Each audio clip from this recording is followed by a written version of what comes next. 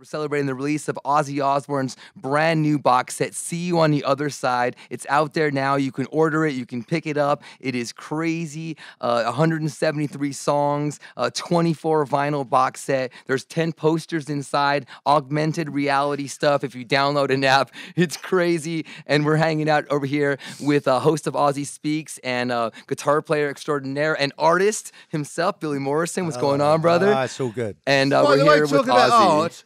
How Yeah. did you art show? Good did you? It went. It went ama- amazing. It went amazing. I I'm had sorry I couldn't make it, but I was uh, Ozzy, uh, don't even worry. You've shown up every other time, and I get it.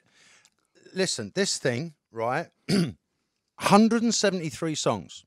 and ten posters. What of? You did you know you'd written 173 songs? No. It's crazy. That's a lot of. Well, I haven't written on. it. I I co-wrote them. You know, it's. Uh, Right, but you've released 173 songs. From Blizzard of Ozz to Scream. And how many albums? 16? How is Am I that, that Ozzy? old? When you when you think about that, is it but hard you, to get you- your head you around? know what? My son said to me, he says, "Dad, what are you always so you know content with what what you've achieved?"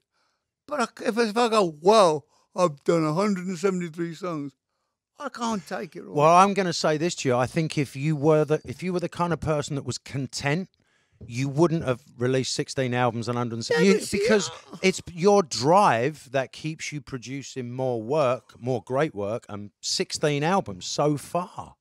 Yeah, but it's kind of like you know, it's, it's like if I, I, I, I've, I've said I've I, I haven't released what I consider my Sergeant Pepper, Great, my yeah. you know my ultimate. Pièce de résistance or whatever it is. So and, and like when people say which is my favourite album, I go I haven't made it yet. Do you listen to them?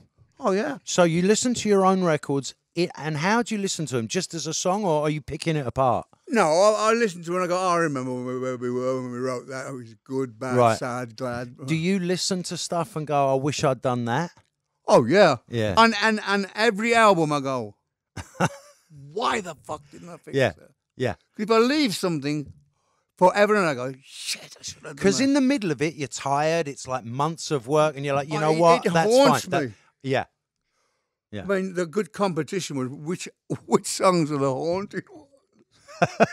All of them. Uh, S.A.T.O. was one. I always remember that. I was in the studio and, and Sharon wanted to go somewhere, and I went, that'll do. And I, in the back of my mind, I, I knew I let someone go. And and once it's out, it's out. But you know what? The amount of people that come to me and go, why don't you ever play that live? Of course. Or or they'll say that's my favourite song or Yes. whatever, and it's the one that's got this little thing in there that you didn't It's like, fit. it's like only I know. It's like, Absolutely.